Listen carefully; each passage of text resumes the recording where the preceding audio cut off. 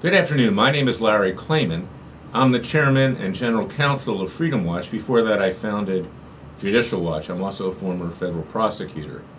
I want to talk to you about the total breakdown of respect for our legal system in this country. And it comes at a time that we're looking at James Comey's testimony in front of the Senate Intelligence Committee just this week with regard to allegations of obstruction of justice, which frankly I feel are politically motivated. But let's talk about the real person who has obstructed justice, and that's former President Barack Hussein Obama. We've been trying to serve him with a complaint with regard to the National Security Agency, illegal surveillance now, for years. And each time that our process server contacts him or his uh, Secret Service, which surrounds him, they are in fact brushed off. In fact, our process server, now that Obama is not even a public citizen anymore, he's no longer President of the United States, he's simply private, promises to get back with our process server so we can peacefully serve him with the complaint.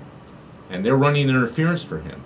The U.S. Secret Service is in effect obstructing justice along with Barack Hussein Obama.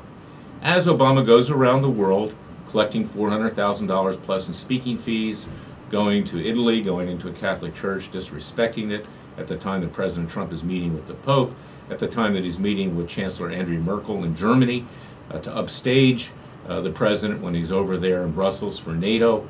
This is outrageous. We have a former president of the United States, and he did it while he was president, obstructing justice. Yet no one says anything about it.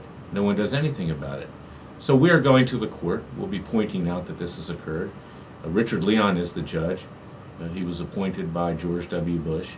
And hopefully he'll take this seriously because you cannot have presidents of the United States collaborating with the Secret Service at a minimum obstructing justice. So that's my little vignette for today.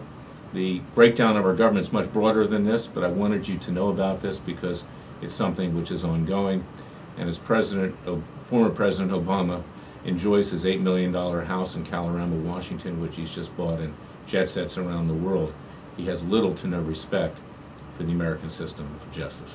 God bless you. God bless America. God save America. Go to freedomwatchusa.org. Please contribute to our cause. We're your Justice Department. We tell it like it is, and in fact, we're the only ones that are doing the heavy lifting in court to try to bring about justice with the elite in this country. Have a nice day.